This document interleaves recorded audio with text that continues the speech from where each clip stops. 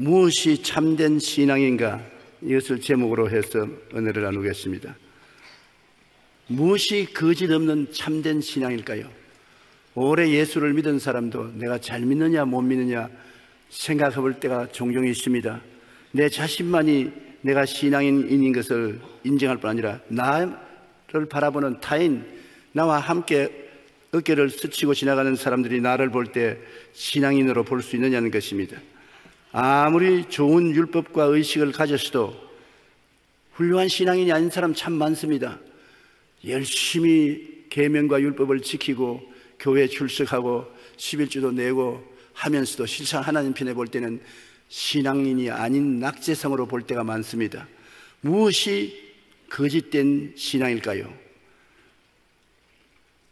사랑이 없는 신앙은 외형적으로 아무리 훌륭하게 믿어도 거짓됐다는 것을 성경은 말하고 있습니다. 고린도전서 13장 1절로 3절에 내가 사람의 방언과 천사의 말을 할지라도 사랑이 없으면 소리나는 구리와 울리는 꽹가리가 되고 내가 예언하는 능력이 있어 모든 비밀과 모든 지식을 알고 또 산을 옮길 만한 모든 믿음이 있을지라도 사랑이 없으면 내가 아무것도 아니요 내가 내게 있는 모든 것으로 구지하고 또 내 몸을 불사르게 내어 줄지라도 사랑이 없으면 내게 아무 유익이 없나니라.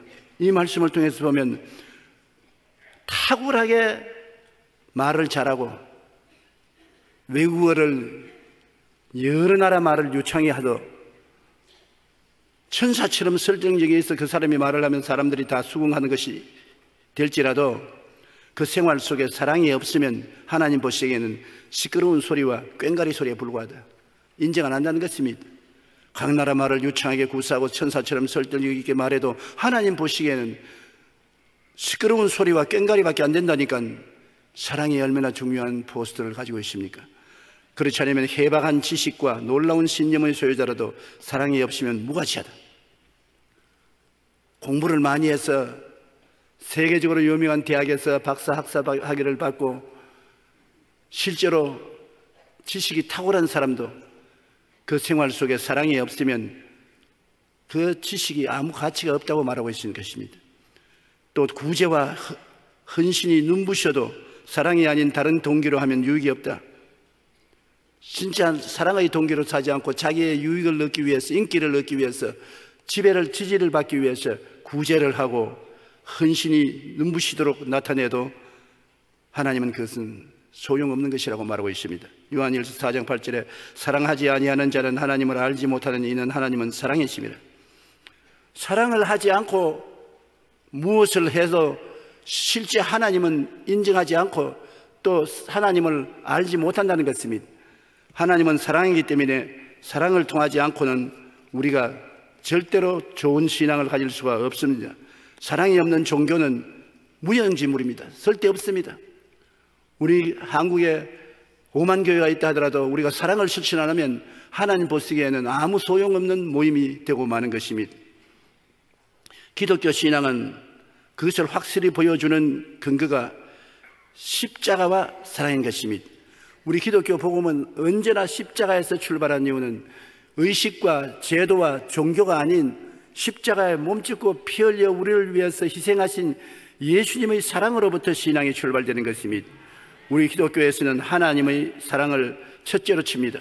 그런데 하나님의 사랑을 어디에서 볼 수 있습니까? 하나님이 세상을 이처럼 사랑하사 독생자를 주셨으니 당신의 외아들을 주시기까지 사랑하셨다.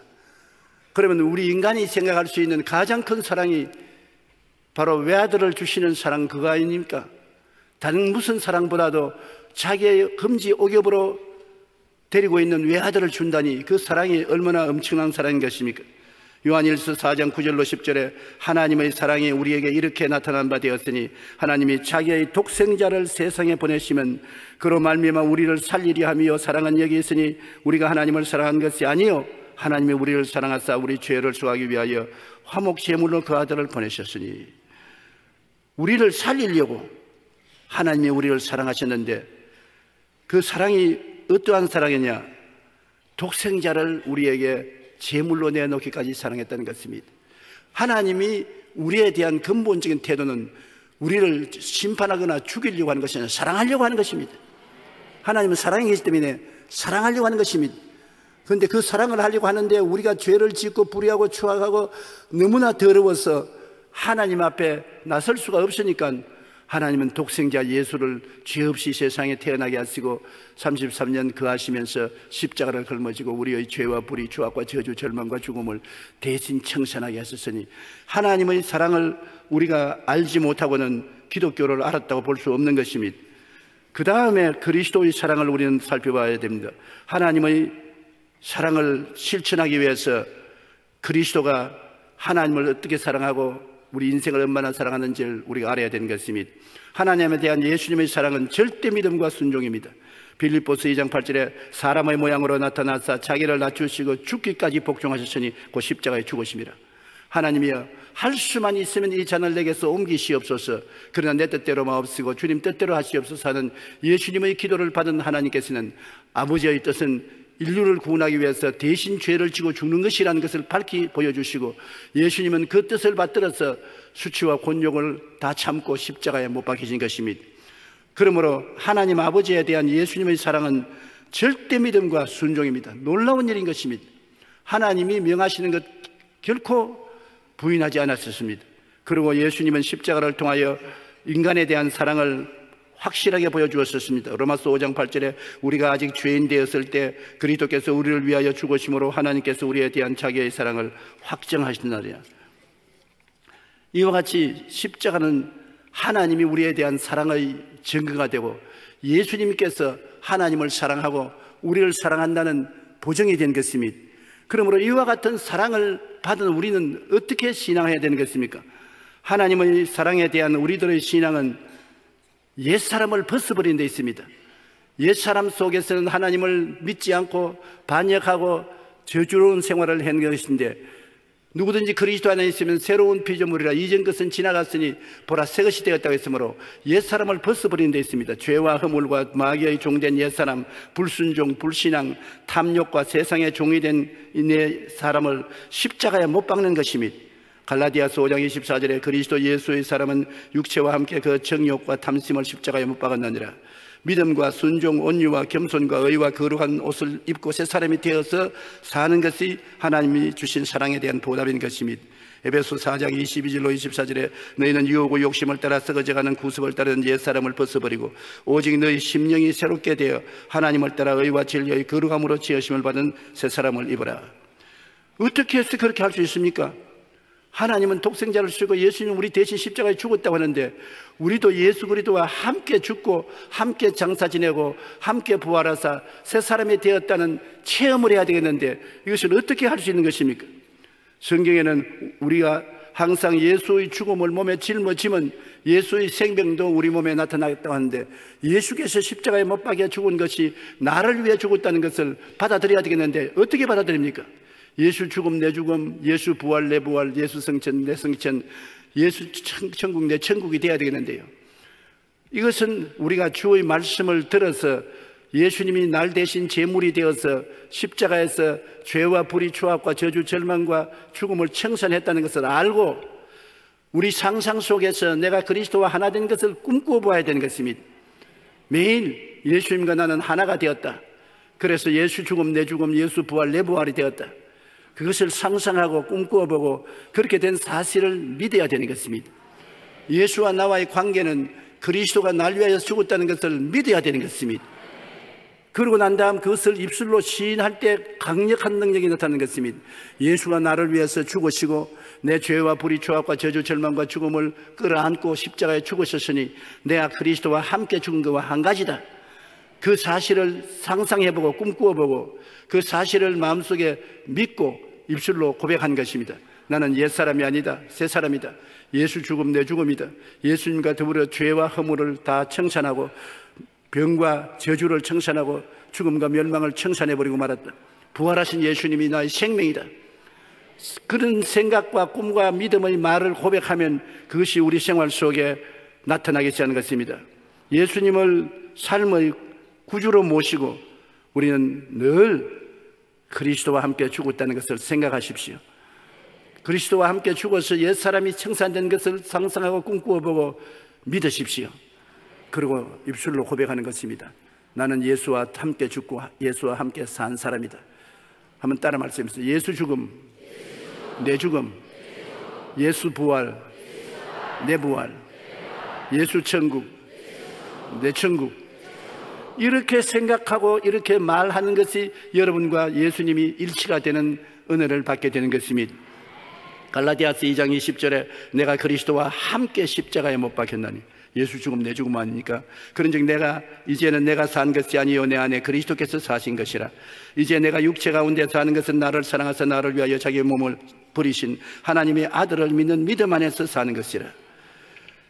주님은 행동으로 이것을 이루어 놨는데 우리는 이제는 생각과 꿈과 믿음과 입술의 고백으로 받아들여서 내 것으로 만드는 것입니다 예수님의 모든 고난이 내 거요 부활의 영광도 내 거요 이것이 연결 안 되면 안 되는 것입니다.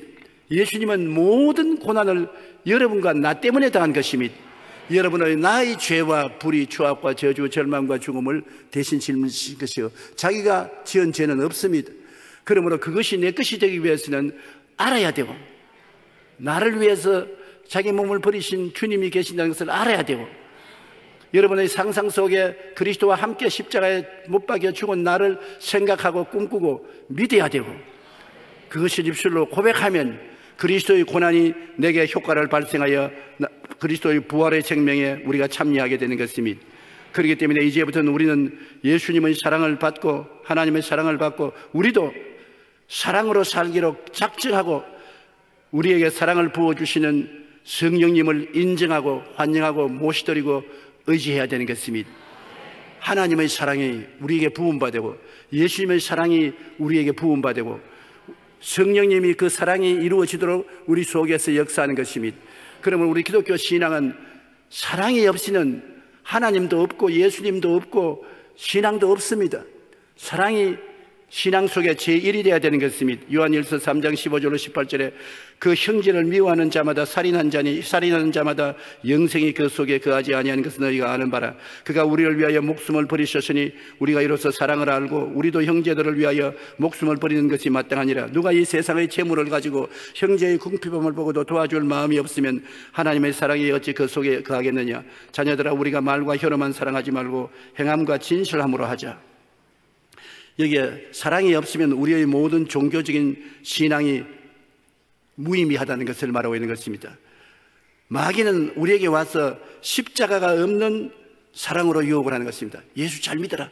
열심히 교회 나가라. 11주 드리라. 헌신하라. 그러나 십자가는 질 필요 없다. 십자가는 예수님이 짊어졌지 네가 질 것이 아니다. 이렇게 십자가 없는 신앙을 가지도록 마귀가 우리에게 자꾸 종용하는 것입니다. 십자가 없는 신앙은 오만하고 자기 중심에 서고 탐욕에 서서 사는 것입니다. 요한일서 2장 15절 16절의 말씀대로 이 세상이나 세상에 있는 것들을 사랑하지 말라 누구든지 세상을 사랑하면 아버지의 사랑이 그 안에 있지 아니하니 이는 세상에 있는 모든 것이 육신의 정욕과 안목의 정욕과 이생의 자랑이라 다 아버지로부터 나온 것이 아니요 세상으로부터 온 것이라 세상이 꽉 들어와서 세상에서 나는 너보다 낫다는 오만하고 무엇이 자기 뜻대로 행하려고 하고 욕심에 서서 인생을 살면 십자가 없는 신앙인 것입니다.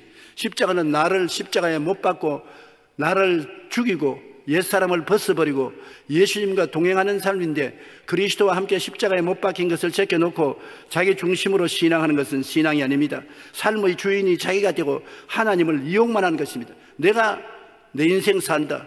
하나님은 하나님 뜻대로 하실 것이다. 내가 뭘 하나님께 내 인생을 맡길 것이느냐. 그래서 인본주의적인 신앙으로 자기 중심으로 사는 것입니다. 이러한 사람은 하나님과 관계가 없습니다. 하나님은 자기 자신을 하나님께 맡기는 자를 받아주시는 것입니다. 우리가 비록 죄를 짓고 불의하고 추악하고 돼지 속으로서 나온 능마 같은 인생일지라도 모든 사람이 말을 짓부릴지라도 우리는 예수님을 의지하고 하나님께 나오면 하나님의 사랑이 우리를 용납해서 씻겨주시고 변화시켜 주시는 것입니다. 예레비야서 2장 13절에 내 백성이 두 가지 악을 행하였나니 곧 그들이 생수의 그런 데는 나를 버린 것과 스스로 웅덩이를 판 것인데 그것은 그 물을 가두어 주지 못할 터진 웅덩이라 사람들은 모든 생명의 그런 대신에 하나님을 버리고 자기 힘으로 생수의 우물을 판다고 했는데 아무리 파봤자 그곳에서는 물이 머물지 않습니다. 터져서 나가버린 것입니다. 하나님 없는 인간의 수고는 결과에는 다 무너집니다. 주께서 집을 세우지 아니하시면 세우는 자의 수고가 헛되고 주께서 성을 지키지 아니하시면 바스꾼의 경성함이 헛삽니다. 아침에 일찍 일어나고 저녁에 늦게 누우며 고생의 떡을 먹으며 헛서인 것입니다. 하나님은 자기를 사랑하는 자에게 잠을 주신다는 것은 하나님의 백성은 모든 것을 하나님께 맡기고 믿고 그냥 잠자는 것입니다. 내 힘으로 안 되는 것 때문에 힘으로도 안 되고 능으로도 안 되는 것 때문에 하나님께 맡겨버리면 되는 것입니다. 죄 용서를 내 힘으로 어떻게 갚을 수가 있습니까? 허물을 어떻게 내 힘으로 벗을 수가 있습니까? 무서운 병에 들리는데 내 힘으로 못 낫지 않아요. 저주에 빠져서 못 살아 비마땅에 땀을 흘리는 사람이 자기 힘으로 일어날 수 있습니까? 더구나 죽음을 내 힘으로 감당하지 못하지 않습니까? 그러나 이 모든 것을 하나님은 그 아들 예수님을 보내셔서 대신 짊어지고 탕감하려고 하신 것입니다. 하나님은 여러분이 죄의 노예가 되는 것을 원치 않습니다. 허물에 종이 되는 것도 원치 않고 병들어 앓는 것도 원치 않습니다. 여러분 저주를 받아 세상에서 이마에 땀을 흘리고 가시는 굴에 뒹구는 것도 원치 않습니다. 죽어서 지옥불에 타는 것도 원치 않습니다. 그러므로 하나님께서 그 아들을 보내셔서 이를 대신 청산하게 하셨는데 예수님은 죽음으로 이것을 청산했었습니다. 이제는 오직 하나님과 아들이 우리에게 말씀하시는 것은 수고하고 무거운 짐진 자들은 다 내게로 오라. 내가 너를 편히 쉬게 하겠다. 너희 자신을 하나님께 맡기고 하나님의 자녀로서 하나님을 주인으로 모시드리면 하나님이 너를 책임져 주마라고 말씀하는 것입니다. 살든지 죽든지 흥하든지 망하든지 승하든지 쇠하든지 주님께 내어 맡기면 주님이 책임져 주실 것이므로 믿고 평안을 가지라고 주님께서 말씀하시는 것입니다. 그러므로 십자가를 통해서 하나님은 우리를 붙들어 주심으로 십자가 없는 신앙생활은 신앙이 아닌 것입니다. 십자가를 통하여 하나님이 나의 주인이 되고 나는 하나님의 종이 되는 것이 정상적인 신앙인 것입니다. 모든 일에 자기를 성찰하지 아니하고 회개가 없고 이웃에 대한 비평과 판단만 있는 것이 십자가 없는 신앙인 것입니다. 예수 잘 믿는다고 하면서도 모든 일에 내 탓은 없고 전부 너 탓이다. 이건 남편 탓이다. 이건 자식 탓이다. 이건 이웃 탓이다. 이건 우리 교회 목사님 탓이다. 우리 장로님 탓이다. 전부 다른 사람 탓을 돌리고 내 탓은 없습니다. 그렇게 하는 사람이 십자가 없는 신앙생활을 하는 사람인 것입니다. 무슨 일을 당해도 제일 먼저 자기 성찰부터 보는 것입니다. 내가 여기에 잘못했지 않느냐? 내 탓이 아니냐? 나 탓이면 내가 솔직히 그것을 고백하는 것이 좋은 신앙인 것입니다. 누가복음 6장 37절에 비판하지 말라 그리하면 너희가 비판을 받지 않을 것이요 정죄하지 말라 그리하면 너희가 정죄를 받지 아니할 것이요 용서하라 그리하면 너희가 용서를 받을 것이라고 말한 것입니다. 제가 50년의 목회를 하면서 수많은 사람과 신앙 상담을 했습니다만 많은 사람들이 와서 신앙 상담을 할 때 자기 탓으로 된 것이 아니고 남편 탓으로 아내 탓으로 자식 탓으로 이웃 탓으로 이렇게 되었다고 원망하는 사람들이 많습니다. 회개가 없고 이웃에 대한 비평과 판단만 있으니 참 기가 막힌 것입니다. 내 탓을 해야 회개를 하거든. 무슨 일에 내 잘못이 있어야 회개하지. 나는 잘못이 없다고 말하니까 비평과 평론밖에 하지 않는 것입니다. 십자가 없는 신앙생활은 바로 그것이, 그런 것입니다. 에베소 4장 31절로 32절에 너희는 모든 악독과 노함과 분냄과 뜨드는 것과 비방하는 것을 모든 악의와 함께 버리고 서로 친절하게 하며 불쌍히 여기며 서로 용서하기를 하나님이 그리스도 안에서 너희를 용서하심 같이 하라. 하나님은 예수님 때문에 우리에게 용서를 하시는 것입니다. 무엇이든지 하나님께 기도하고 예수 이름으로 간구하면 예수님 때문에 그 부열 때문에 우리를 용서하시는 것입니다. 우리가 깨어진 마음으로 하나님 앞에 나아가면 하나님께서는 우리도 용서하고 이웃도 용서해 주는 것입니다. 마음이 완악하게 된 사람은 안 깨어진 사람은 절대로 감사하지 않습니다. 우리가 십자가를 걸머지고 내가 깨어진 사람은 모든 일에 감사합니다. 좋은 일은 좋아서 좋고 나쁜 일은 좋게 만들어 줄 것이니 좋기 때문에 모든 일에 감사하고 깨어진 사람은 온유하고 겸손합니다. 부드럽고 겸손하고 깨어진 사람은 믿고 의지합니다. 그러므로 오늘날 우리는 십자가에서 깨어지신 예수님을 따라서 깨어져서 나가야 참된 신앙이 될 수가 있는 것입니다. 우리가 다 같이 교회 왔다 갔다 해도 율법적인 신앙과 참된 신앙이 구별이 되는 것입니다. 율법적인 신앙이란 무엇입니까? 모든 것을 율법으로 판단하는 것입니다. 율법을 사람 생명보다 귀중하게 여기고 율법을 우상화하는 것이 율법적인 신앙인데 오늘날 예수 믿는 사람이나 지도자들이 너무나 율법주의적인 신앙을 가지고 있는 것입니다. 사람보다도 율법이 귀중합니다. 그것은 하나님을 잘못 알아서 그런 것입니다. 우리 성경에 보면 한 사람이 예루살렘을 떠나 내려가다가 강도를 만나가지고서 뭐든맞아 피투성이가 됐었습니다. 오늘날 세상에 마귀에게 맞아서 피투성이 된 사람들을 상징하는 것입니다. 그런데 제사장이 지나가다가 그를 보고 고개를 설레설레 흔들고 지나가 버렸습니다. 제사장은 율법을 보존하고 율법을 지키고 율법을 가르치고 율법을 시행하는 사람이 제사인 것입니다. 그 제사장에게는 율법만 지키면 되었지 사람이야 죽든 살든 상관하지 않습니다. 그 다음 레위인 한 사람이 청총걸음으로 오다가 피투성이 되어 죽어가는 사람 보고 고개를 설레설레 흔들고 지나갔습니다. 종교의식을 행하는 사람입니다.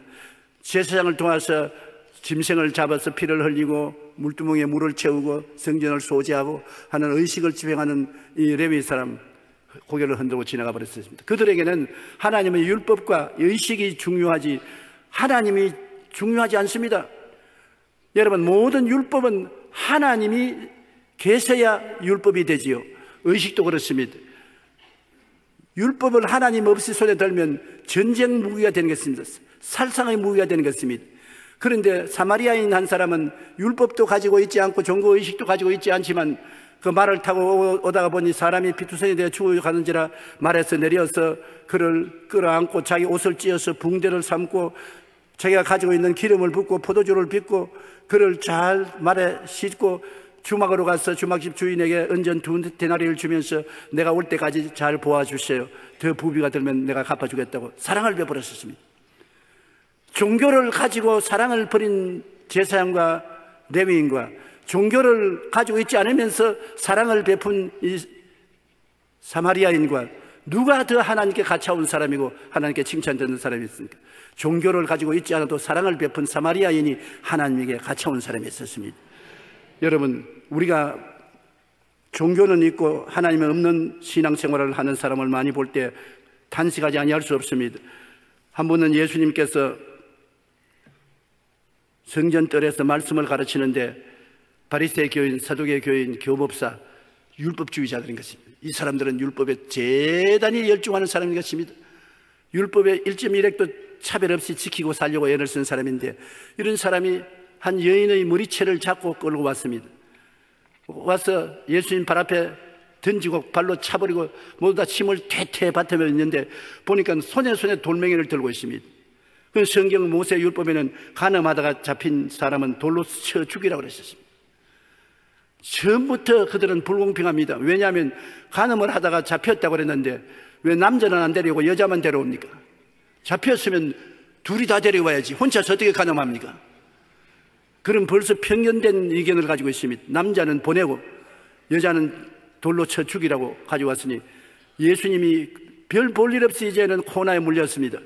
성경에 율법을 무시하고 선생으로서 가르치는 것은 선생이 아니라고 그 치부하려고 왔습니다. 그때 제, 이 바리새 교인 사도교인 교법사들이 주여 이 사람이 가늠하다가 현장에 잡혔는데 모세의 율법에는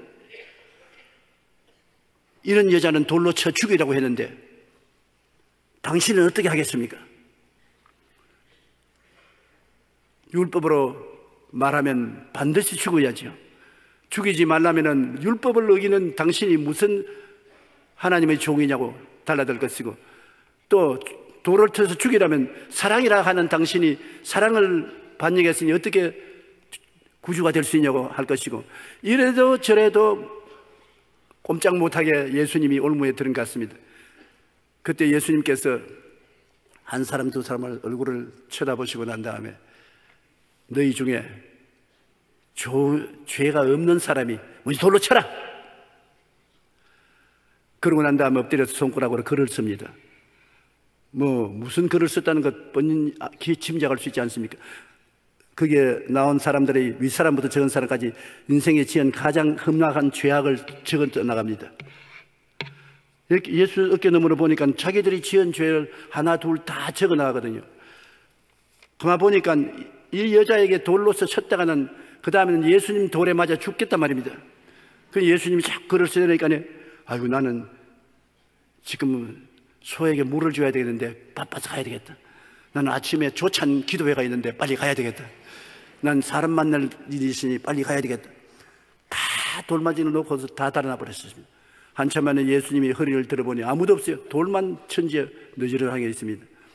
주님께서 그 여자에게 고개를 들라 너를 정지하는 자가 있느냐?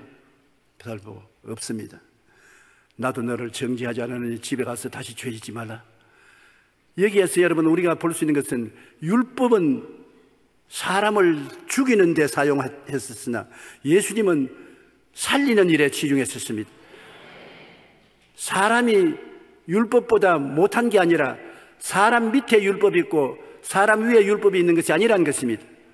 오늘날 우리가 계명을 지켜야지요.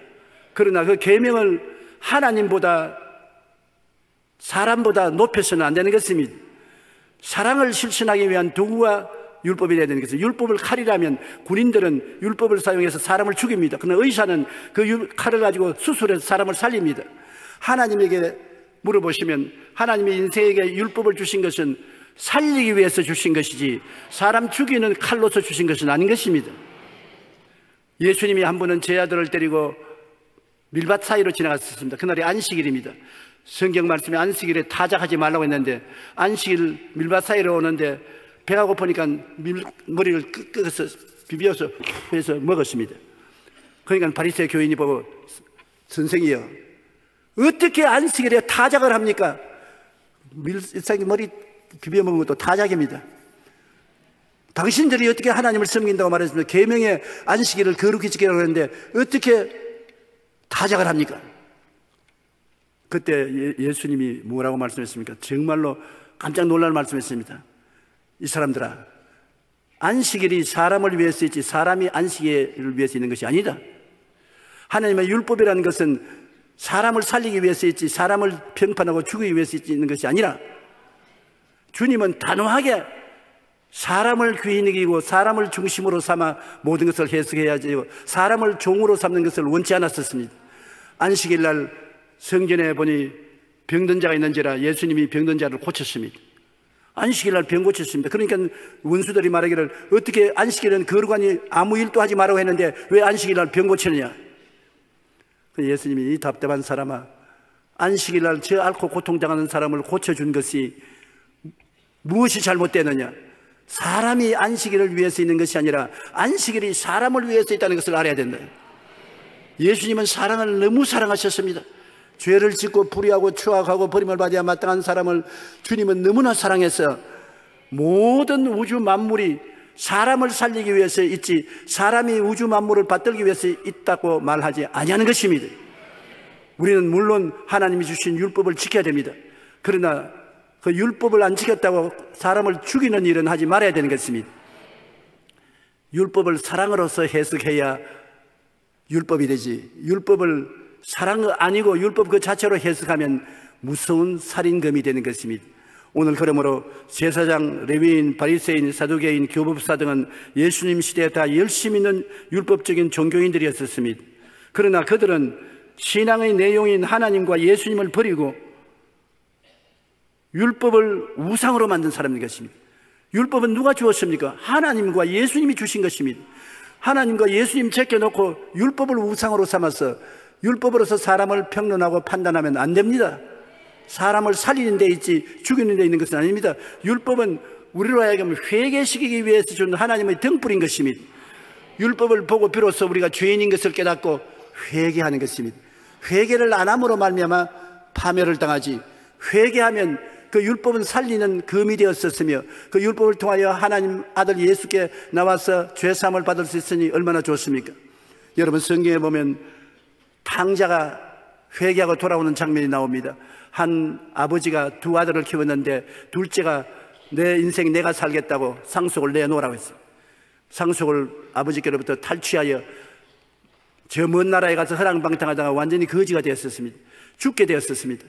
그러니까 그가 생각하기를 우리 아버지 집에는 먹을 양식이 풍족한 종들이 얼마나 많은데 나는 여기서 줄려 죽는구나. 나는 이렇게 하지 아버지 하늘과 아버지께 죄를 지어 싸우니 다시는 아들의 일컬음을 받지 못하겠습니다. 품꾼의 하나로 보아주소서 하고 아버지께로 돌아가자고 했었습니다. 그래서 누더기를 읽고 전신이 병드는 상태로서 아버지께로 돌아옵니다. 아버지가 소문 들으니 둘째 아들이 돌아온다는 말을 듣고 빨리 뛰어나가서 아버지가 뛰어나가서 그 목을 얼싸 안았었습니다. 왜 아버지가 뛰어나갔느냐 하면 옛날에 유대인들은 부모를 공경하지 않고 부모를 비난하는 자는 돌로 쳐 죽이라고 했었습니다. 그 동리로 돌아오는데 둘째 아들이 아버지를 배반하고 나간 사실을 다 알고 있습니다. 빨리 가서 아버지가 그를 끌어안지 않으면 동리 사람들이 돌로 쳐 죽일 수 있습니다. 그러니까 동리 사람들이 보기 전에 미리 가서 아들을 끌어안으려고 가서 목을 끌어안고 울고 종들에게 제일 좋은 옷을 갖다 입혀라. 그리고 가락지를 끼워라. 아들 된 증거로. 그 다음 신발을 신겨라. 그리고 잔치를 베푼데 살찐 송아지를 잡아라. 먹고 즐기자. 내 이 아들은 죽었다 살아났으며 이랬다 얻었다. 그까지는 참 좋은데 형이 들에서 일을 하다가 집에 들어오는데 아버지가 저를 환영했으니 나는 이런 집에 안 들어가겠다. 아버지는 이 아들이 잘못된 것을 알면서도 율법을 통해서 회개하고 돌아옴으로 끌어안아 주었는데 형은 율법으로서의 동생을 생각하는 것입니다. 율법이 동생보다 높습니다. 아버지를 만나서 아버지 나는 이 집안에 들어오지 않겠습니다. 아버지가 창기와 더불어 아버지 가선을 다 탕진한 이 자식을 왜 받아들입니까? 나는 이 아들이 죄 짓고 추악한 놈이요 율법대로 심판을 받기를 원하지 나는 집에 들어오기를 원치 않습니다. 그 아버지가 큰 아들 보고 얘, 얘는 잃었다가 얻었으며 죽었다가 살아났지 않느냐? 내가 환영하는 것이 마땅하지 않느냐? 너는 늘 나와 같이 있으므로 이 집안 재산이 다 너것 아니냐? 그래서 만족하고 들어오너라. 들어와서 동생하고 같이 화목하자. 안 들어갑니다. 나는 이런 놈은 집안에 안 들어갑니다 끝까지 아버지의 말을 거역하고 안 들어갔습니다 잔치에도 참여 안 했습니다 오늘날 세상에 사는 우리들도 이 교회에 나오는 율법주의자들이 저런 술 먹고 도박하고 방탕하던 놈이 다 교회에 나와 있으니 이런 교회에 나는 안 온다. 나는 의롭고 거룩하게 살았으니 내 같은 사람이 있는 데만 가겠다. 그럼 그 사람은 어디 갑니까? 지옥밖에 갈 데가 없습니다. 천당에는 죄인들이 올라가는 곳이지 의인이 올라가는 곳이 아니기 때문에 여러분 천당에 의인이 올라간 줄 압니까? 천당에 가면 의인 없어요. 모두 죄인이 예수의 보혈로 말미암아 시선 받은 사람이 올라가고 있는 것입니다. 긍휼과 자비를 받은 사람이 올라가지 하나님 없이 의롭게 되어서 당당한 사람 전당에 못 올라갑니다. 한 사람 한번 하나님의 성전에 바리새 교인과 세리가 왔는데 바리새 교인은 하나님 나는 저 뒤에 있는 저 세리 같지 않습니다. 나는 일주일에 두 번 금식하고 저 세리같이 죄도 안 짓고 깨끗한 사람입니다. 할렐루야 훌륭하지요. 그런데 세리는 뒤에서 나는 세금쟁이로 다른 사람의 세금을 넉탈하고 죄도 짓고 불의하고 추악한 죽일 놈입니다. 불쌍히 느껴 주시옵소서. 둘이가 그렇게 기도하고 나갔는데 하나님께서 물으시기를 누가 더 용서받고 의롭다함을 입고 나갔느냐? 보통 사람들은 다 아, 앞에 그 바리새 교인이 더 의롭지 않습니까? 하나님께 11조 드리고 이틀에 한 번씩 금식하고 착한 열사였으니 훌륭하지 않습니까? 하나님이 아니야. 자기가 죄인 아니라는 사람은 내게 상관이 없고 저 회개하고 가슴을 치며 나는 죄인이옵니다. 불쌍히 느끼십시오 는 죄 덩어린 세리가 용서를 받고 의롭다함을 입고 나갔다고 말하는 것입니다. 하나님 앞에서는 깨어진 사람을 원하는 것입니다. 회개하는 사람을 원하는 것입니다. 그래야 하나님의 사랑이 우리 속에 온전하게 되는 것입니다. 우리는 주님께서 말씀한 대로 사마리아인이 율법도 없고 의식도 없어도 강도 맞는 사람을 불쌍히 여기서 돌보아 준 그 사랑이 있으니 그 사랑 속에 하나님이 나타나신 것입니다. 사랑이 없이 율법을 지키기 위해서 의식을 집행하기 위해서 죽어가는 사람을 내동댕이 치고 간 그 사람은 하나님 없고 예수님이 없는 사람인 것입니다. 우리는 율법을 지키되 항상 예수님의 사랑을 그 가운데 모시고 지켜야 올바른 율법이 되는 것입니다. 사랑이 없는 율법은 소용이 없습니다. 1963년 인종차별 때, 철폐 때 워싱턴 시위에 경찰관과 소화, 소화호스에 맞닥뜨린 마르틴 루터 킹 목사는 이렇게 외쳤습니다. 우리 집안에 폭탄을 던지시오. 그래도 우리는 당신을 사랑할 것이요. 흑인 민권 운동자로서 민권 운동으로 대, 워싱턴 내거리를 데모하는데 경찰관들이 와서 호수에 물을 뿌리고 몽둥이로 때리고 하니까 우리 집안에 폭탄을 던져 보시오. 그래도 난 당신을 사랑합니다. 특히 그가 노벨상을 받고 나오면서 남긴 말은 유명합니다. 그래도 이 세상을 움직이는 것은 사랑이다. 사랑을 실천하는 참된 신앙인의 삶은 결코 쉽지 않습니다. 그러나 주님께서 십자가에 달리시기 전 우리에게 주신 마지막 당부하는 사랑이라는 것을 우리를 기억해야 됩니다. 요한복음 15장 12절에 내 계명 곧 내가 너희를 사랑한 같이 너희도 서로 사랑하라 하는 이것이니라. 하나님이 주신 최고의 계명이 사랑인 것입니다. 사랑하면 그 속에 하나님이 계십니다. 사랑하면 그곳에 예수님이 계십니다. 하나님은 이 세상을 이처럼 사랑하사 독생자를 주셨습니다.